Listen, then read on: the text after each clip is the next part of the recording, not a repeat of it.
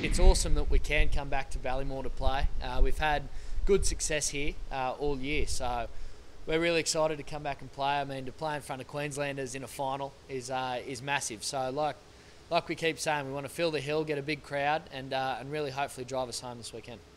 Oh, you got to soak it up. I mean, it's a, it's a finals finals football week. It's a grand final, so we got to got to let all the players enjoy that for, for what it's worth. Uh, treat it as a normal week as much as we can, and then let excitement take over come Saturday.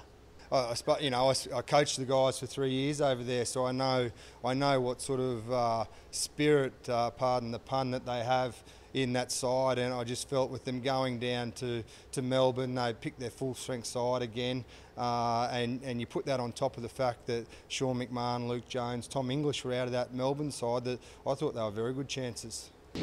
Yeah, definitely. Attitude was absolutely fantastic. You know, we, we've grown as a team throughout the year, and, and a big part of that's that been attitude. Uh, we've been able to learn from those couple of losses we had, and, and the guys now uh, understand no matter who's playing for us, uh, you know, we've still got to front up and do our job. And I was really, uh, really happy with that aspect of our game on, on Friday night.